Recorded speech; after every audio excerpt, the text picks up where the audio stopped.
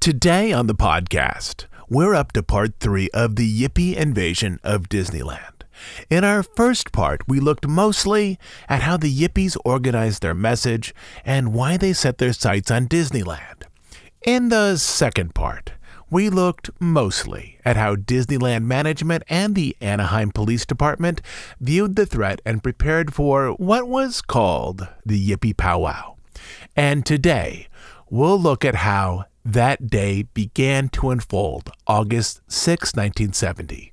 What was surely the most unusual and explosive day in the history of Disneyland, or likely that of any Disney park, with hundreds of young people converging on Disneyland during the height of the Vietnam War, leaving Disneyland managers and the Anaheim Police Department unsure how to respond also unsure if the gathering would take on tones of violence and aggression that had marked recent political protests in California, particularly a student protest in Santa Barbara that ended with the Bank of America building being burned down.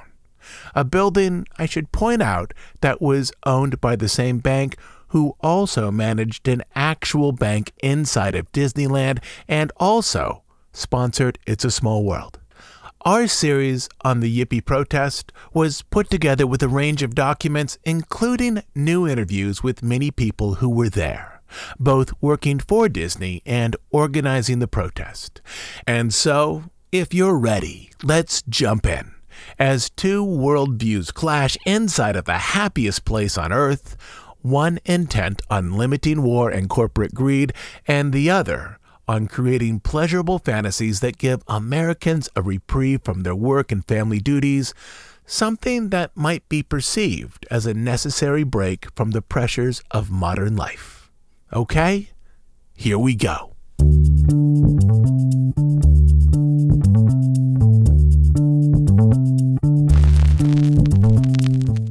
Disneyland managers arrived to work early on August 6th, the day that the Yippies were scheduled to congregate in the park. Some started while it was still dark, gathering into a training room that had been converted into a command center for the management team at Disney. Included among them were the mayor of Anaheim, Jack Dutton, and the city manager, Keith Murdoch. The room was arranged with folding chairs, each with an ashtray. The room was also used as a press center for reporters interested in covering whatever happened. Quote, I got there early in the morning, about 5:30 or 6:30, recalled Disneyland manager Ben Harris. We had at least 3 buses there. One was a holding area, essentially a jail. Another was a courtroom prepared for judicial hearings. The Yippies had said they were going to shut down Disneyland. They were going to force Disneyland to close down. As the first fingers of sunlight fanned across the park, illuminating Tomorrowland, then the castle, then Frontierland, police were beginning to gather in a side section of the parking lot. According to the city of Anaheim, the presence included members of the Anaheim Police Department as well as, quote, over 200 additional police officers from the Orange, Westminster, Fullerton, and La Palma police departments. Jailers, cadets, and explorers would assist in booking prisoners and manning the command posts. Disneyland manager Jack Lindquist recalled that, quote, about 400 police units gathered backstage in the park. We had another staging area across the street at the Disneyland Hotel and one at the Anaheim Convention Center.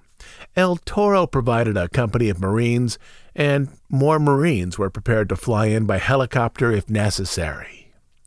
But law enforcement and Disneyland managers weren't the only groups to arrive early. Also at the park was Claude Owens, who came to Disneyland, quote, for the purpose of selling the free press to people as they arrived. He stood in front of the Disney property, attempting to sell the alt weekly to interested parties. Later that day, he would end up being arrested.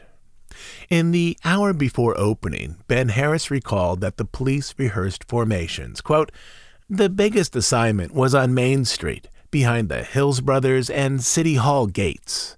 They looked like a Roman legion. they were on the street an hour before we were open, going through these drills quietly. If need be, they would form a group to protect any guest. In addition to the ground formations, there was one other detail also rehearsed. Quote, Up on the roofs, out of view, were marksmen, Harris recalled, all down Main Street. Also on the top of Main Street buildings was a camera operator with a 16 millimeter camera and tripod. Wearing a wide straw hat, he stood there for most of the day, using a high powered zoom lens to take footage of presumed yippies as they approached the park, and then, if they bought a ticket, walked to Town Square and down Main Street. The film would likely provide evidence that could be used, if necessary, in court. A second camera was positioned elsewhere above Main Street. At least one of these two camera operators would end up down on Main Street in the thick of the crowds as the park filled with anxious guests later in the day. Officially, Disney executives were in control of the park. On the ground were Dick Nunis, head of operations, as well as Don Tatum, and, at least at times, Roy O. Disney. In consultation with the chief of Disneyland Security and the Anaheim Police Department, they would make decisions about in park security. However, if Disneyland executives decided that they needed police support inside the park, control of the Disney property would then be handed over to the Anaheim Police Department. Dick Nunis would later explain that in a private moment, when discussing the Yippie situation with the elderly Roy Disney, he had told them, Don't let them shut us down. Those Disneyland employees driving to work saw clear signs that this day would be different. On his way in, cast member Steve Silverman recalled spotting, quote, two helicopters parked on the lawn of the Anaheim police station. Two highway patrol cars were parked along the Santa Ana Freeway's harbor exit. Police checked cars turning into the employee's parking lot, which was filled to capacity. Signs of unusual activity continued as he left his car and went to work. Quote, As I entered the park through the employee's entrance, I remember seeing the riot squad of the police department waiting backstage behind the Bank of America on Main Street. They were decked out in full riot gear waiting for something to happen. Before opening, managers briefed the hourly employees as to the potential problems faced that day. Sherry Chafin, a cast member, recalled that most managers expressed feelings of annoyance, quote, that this was an invasion and that how dare them to challenge the ideals of the happiest place on earth. But Chafin also noted that some of the younger employees didn't see it as an invasion. Some saw it as a valuable protest against the Vietnam War, a war that held very little support among college students. Chafin herself understood the divide. She said, quote, I was 21. I was a war protester, but not at work. In those early hours on the streets of Anaheim, there was very little activity aside from typical guests arriving early for a day of family fun.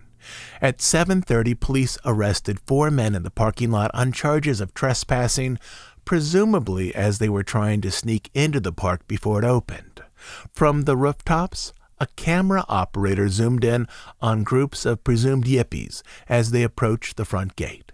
Police lined up by ticket windows, spotted yippies in the area, but, quote, only in groups of two or four. The gates that day opened at 8 a.m., and as they did, managers took their places around the park. Dick Nunis remained near the front entrance. When he saw young people with long hair signaling perhaps a potential problem, he personally greeted them.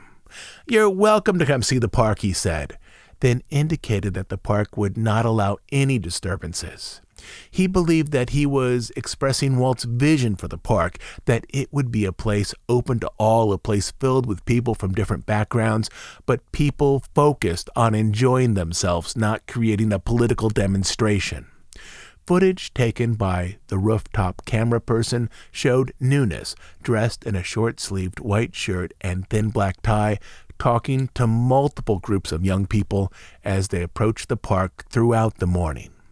Disneyland manager Van France explained, quote, My job was to walk the park dressed as a tourist and report any unusual incidents. Another manager explained that it was his assignment to, quote, sit on a bench all day, watching for any signs of trouble.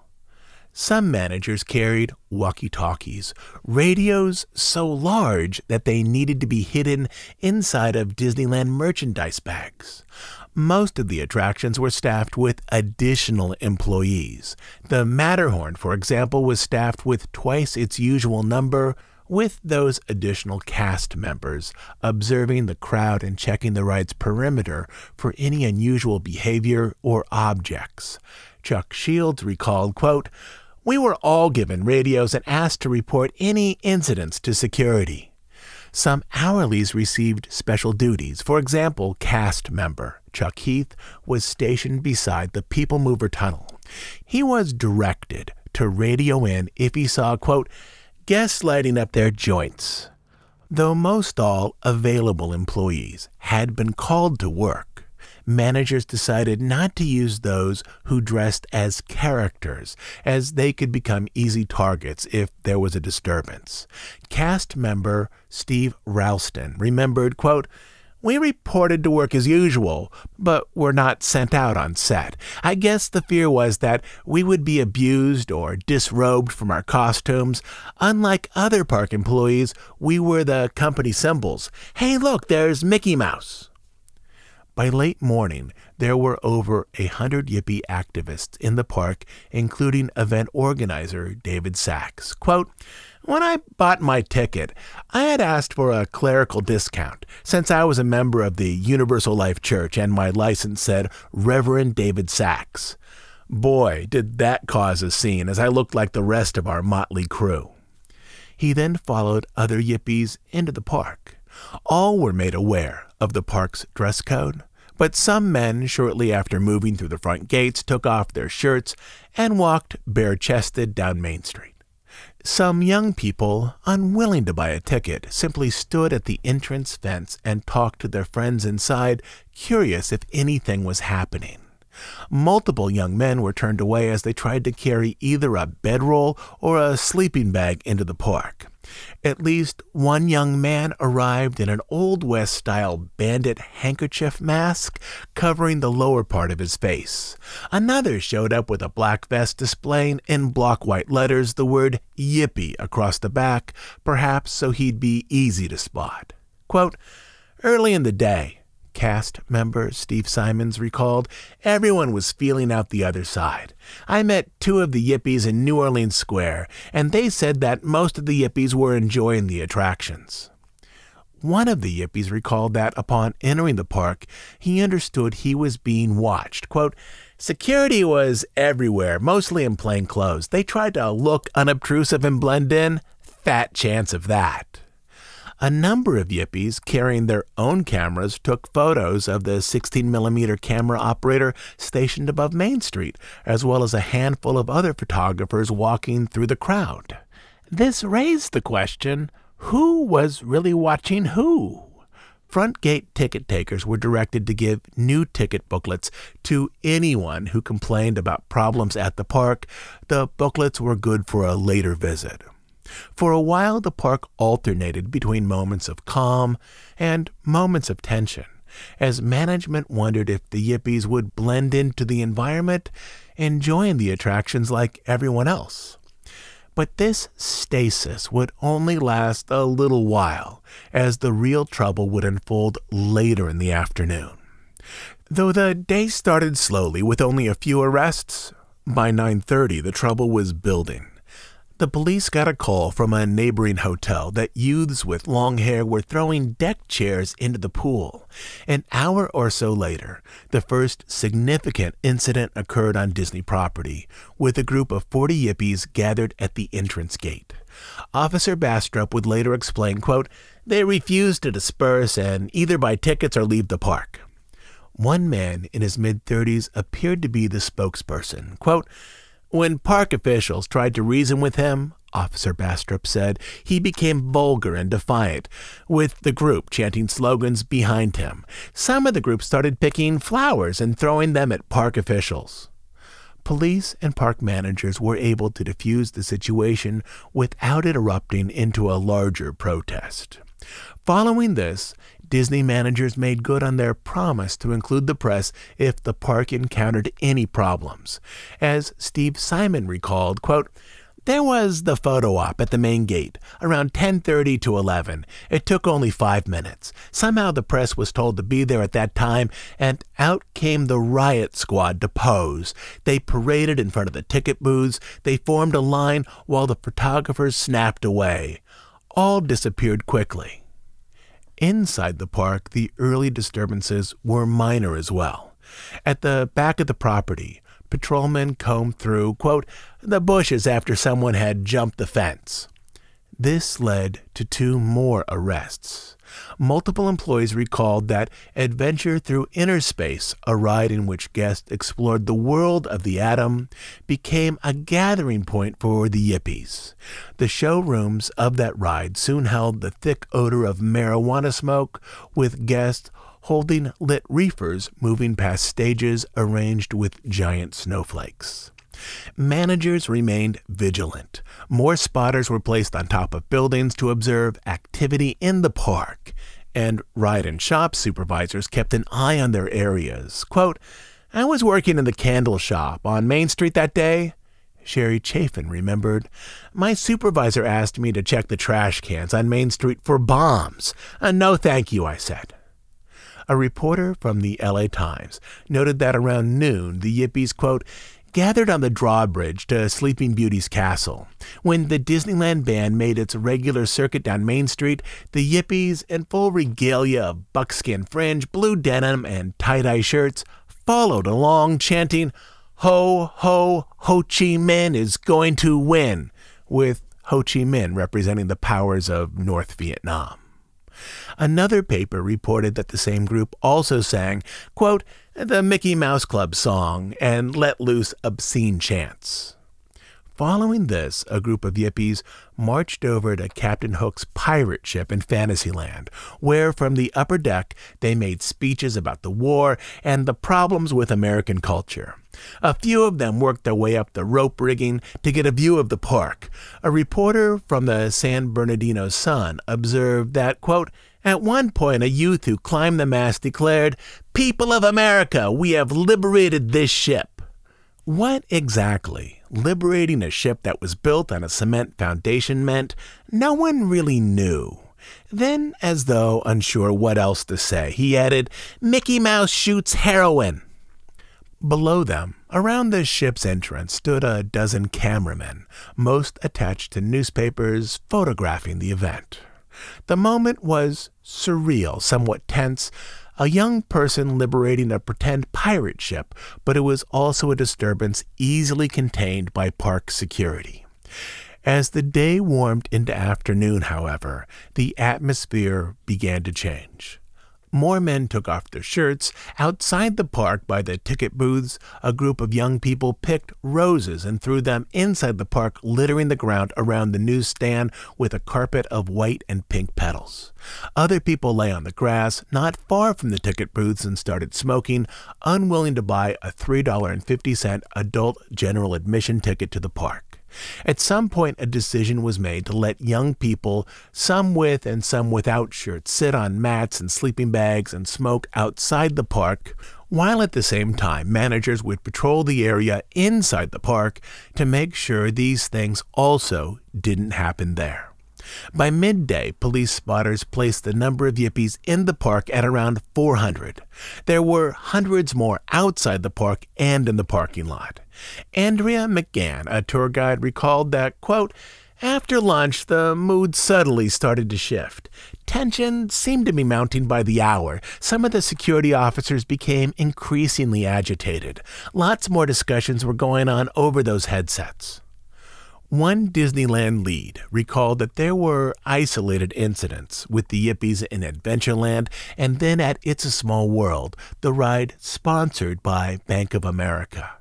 Paige Gorman, who worked Storybook Land that day, saw, quote, security personnel checking the area of the patchwork quilt in response to a rumor that something had been thrown from a Casey Jr. train. Many park guests, growing weary of the Yippies' antics, voiced their complaints. One Yippie explained, quote, Parents were cursing us, dirty hippies. Other guests marched up to town hall to demand a refund, where they were offered a new set of tickets for a future date. A cast member remembered the Yippies, quote, took quite a bit of abuse from some of the rest of the guests because of their dress and long hair. He also recalled that the abuse was often unprovoked. Quote, the mood did turn as the day went on. The impression I got was that the Yippies were getting fed up with the comments from other guests and being spit on. In the early afternoon, Yippies gathered into large assemblies, but according to the Los Angeles Times, they were scattered into small groups by security, only to start to gather again. Though some young people were there to have a good time and witness whatever happened, others were there to participate in a statement, to somehow use the event to communicate a political message to America via the press. Field Lieutenant Bastrop's memories corroborate this observation. Quote, at first, the Yippies were content to gather in small groups and yell obscenities at bewildered guests. As quickly as security officers approached them, these packs dissolved, only to regroup elsewhere. A few fights were reported but not confirmed. Yippies also tossed lighted matches into trash bins, and firemen with hand extinguishers were dispatched to put the fires out. For most of the day, this was the largest concern that a trash can fire would spread to shop or ride buildings, much as it had when students burned down the bank in Santa Barbara. At one point, albeit briefly, a legalized marijuana banner was hung from the front of a Main Street store. As one Yippie recalled, the park wasn't entirely unified against their theatrics. Some of the hourly ride operators, quote, Thought we were cool. After all, we're a great change of pace from the families from Ohio.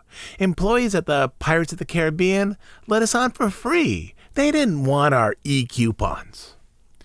Roy Disney appears to have stayed close to Main Street for much of the day, as did other executives. Most police officers remained behind Main Street as well. This may have been related to police concerns that Bank of America near the railroad station might prove a likely target for a Yippie protest, or worse, for violence. One employee recalled that, quote, there were three or four cast members with Roy. At one point, as one of the Yippies acted in a defiant or threatening way toward Roy Disney, one of the cast members, quote, stepped in between the two, placing himself between Roy and the young man. By late afternoon, a feeling of quiet desperation began to move through the Yippie contingent.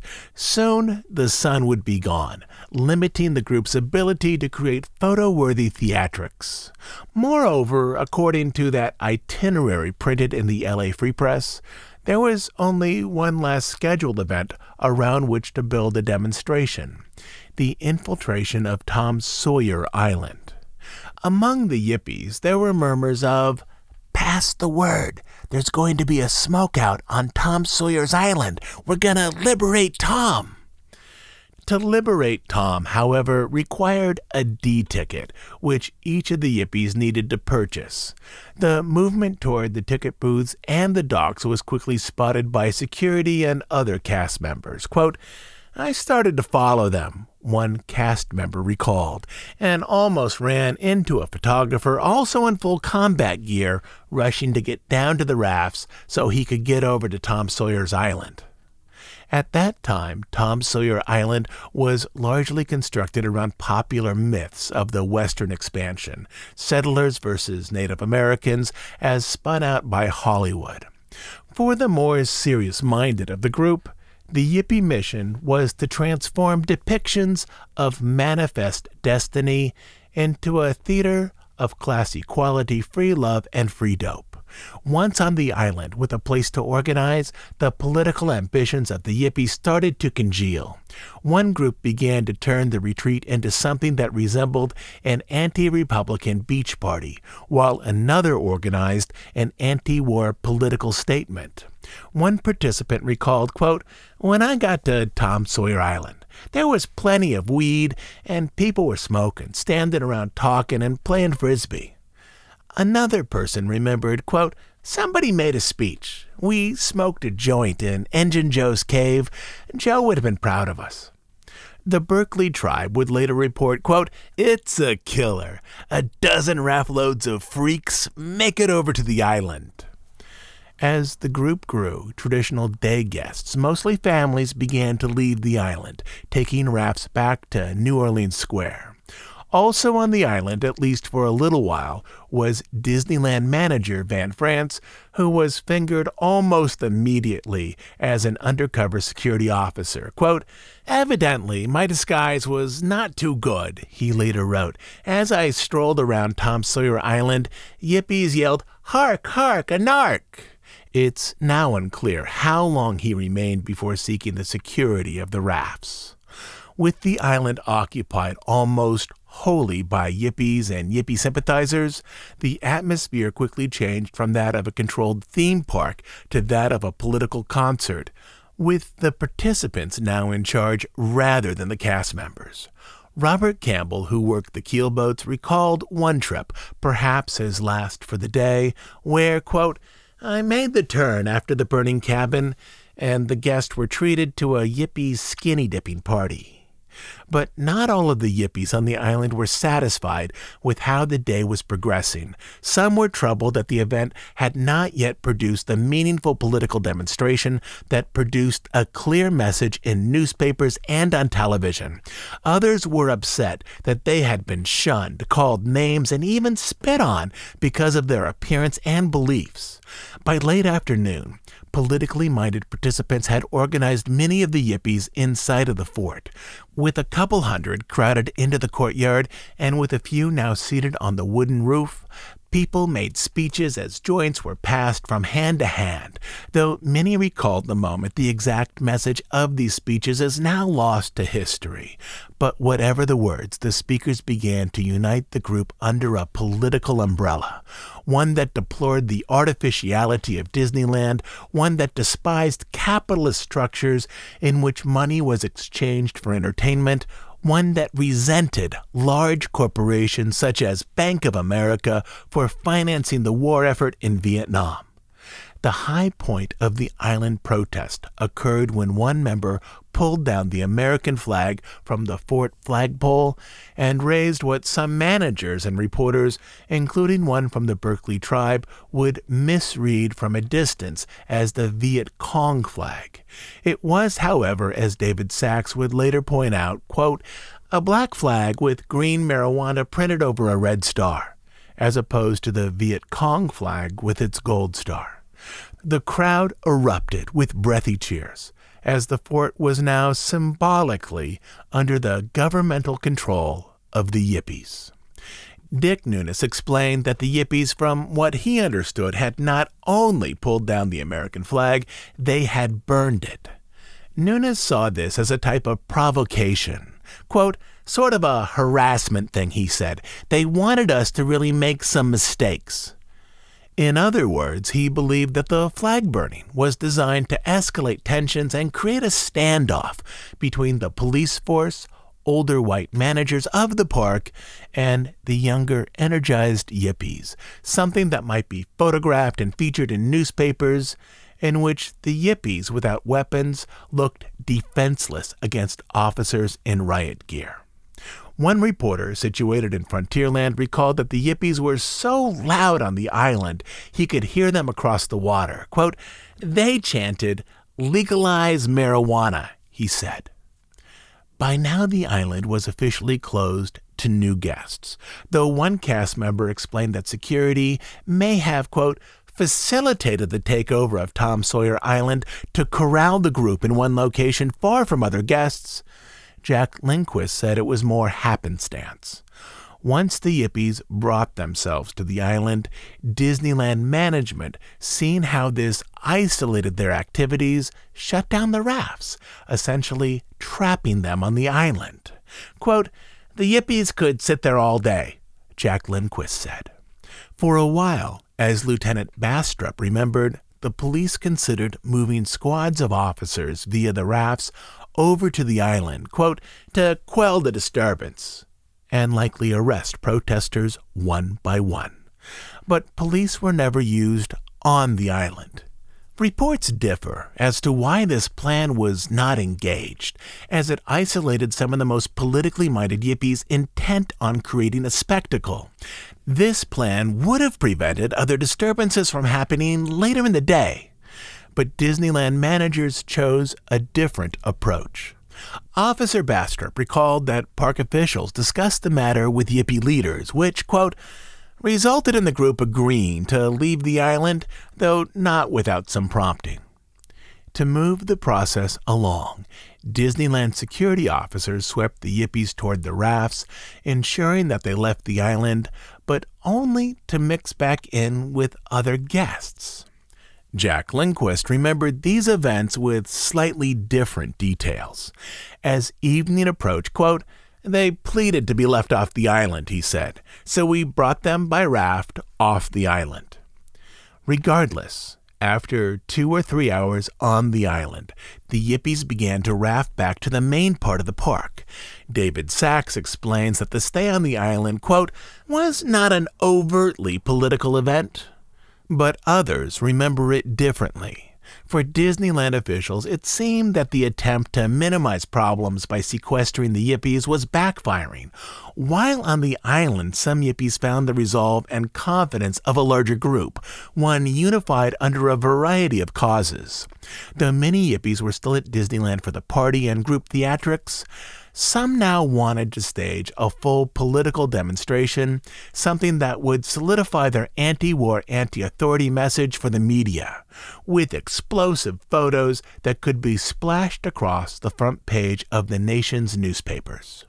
Now that they were off the island, the best place to do this was at the end of Main Street, near the pole that held the American flag, also near the Disneyland branch of Bank of America. Quote, the people who had gotten off these first two rafts, David Sachs recalled. That's about what it was. It was the first two raft loads of people decided to march down Main Street in Disneyland singing various odes to sex, drugs, and rock and roll. There were clearly two different movements in the park.